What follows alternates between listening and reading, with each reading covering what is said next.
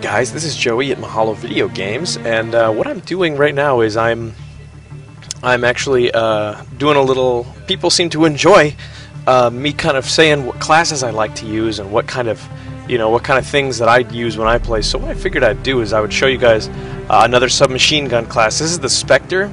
Spectre is one of the last uh, submachine guns you can uh, reveal, which I went ahead and did. Um, I'm actually using it with rapid fire right now, but I want to talk a little bit about the Spectre here.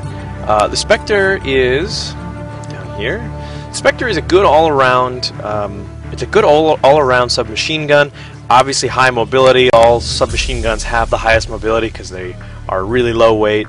But the Spectre has a nice mixture of fire rate, accuracy, range, and damage. The damage is a little bit on the low end. It's higher than the MPL, obviously. Um, uh, it's the same as the M, you know the PM63. It's a little bit better than the Uzi. It is a little worse than the AK-74. That's one bad thing about it. The range and the damage are not as high, or excuse me, the accuracy and the damage are not as high as the AK-74. That's a little bit of a problem. Um, on the other hand, the fire rate is higher, which is really nice, and the range is the same. So you essentially trade a little bit of damage and accuracy for your fire rate. And um, yeah, and uh, actually, now that I uh, now that I look at it, um, you know, overall the stats on the AK-74 are better. However, the Spectre, if uh, the Spectre, if you would use the attachments for it, I'm using the rapid fire uh, attachment. It is remarkably good. You can also, unlike the uh, AK-74U, you can add a grip to it, which submachine guns all have pretty strong kick, um, especially the Spectre. And uh, the kick that it gives is a little, it's a little dangerous. I mean, I think you can, I don't remember if the AK-74 has grip attachment or not. It does, okay. Not a bad thing, but with the AK-74 you really want to have rapid fire in my opinion. Um, anyway, I think the Spectre is a great weapon. I found it to be very useful. Uh, it's got a really fast, obviously, bring up speed. I think that the AK-74U and the Spectre are about even. Um, it just kind of depends on your personal preference, personally.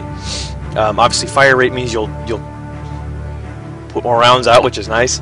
Uh, the damage and accuracy drop from the AK-74U is, is too bad. But definitely take a look at it if it fits. If you just feel that it works better for you than the AK-74U, don't be afraid to use it. It's really nice. You can either use it with um, rapid fire or you could use it with grip. Um, I haven't used it with grip yet. Obviously, I've just been using rapid fire, and I feel it works really well. The one thing about rapid fire is that um, you have to you have to really use it in bursts.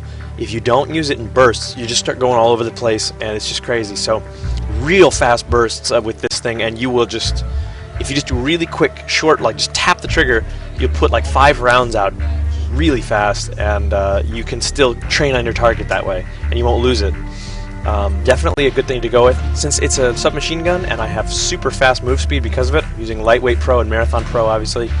Uh, I have a Strela 3 attached just for, hey, probably not going to switch away from the Spectre. It's a submachine gun, it's fast, it's got rapid fire. This is built for movement.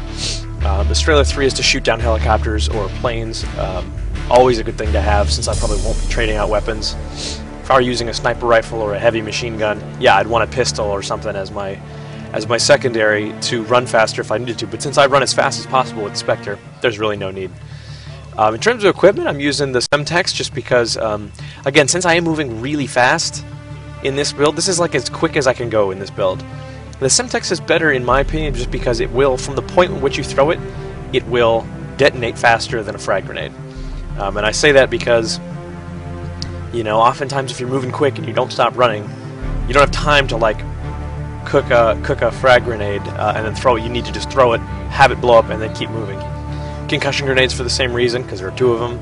Um, and I actually have been playing a lot of um, Capture the Flag because I needed to get Marathon Pro, and the tactical insertion was remarkably useful in Capture the Flag. If you're using Marathon, if you're trying to get Marathon Pro, use tactical insertion, stick it in some out of the way area right by their flag. It's awesome. Uh, obviously, Lightweight Pro, Sleight of Hand Pro, and Marathon Pro are the reasons, uh, are excuse me, are the re the things I'm using, and the reason being that I want this to be the fastest moving, fastest killing build that I can really make. Lightweight Pro obviously means I run faster, I take no fall damage. Um, Sleight of Hand Pro allows me to raise my gun up as fast as possible, as well as reload incredibly fast. And Marathon Pro allows my allows for unlimited sprinting.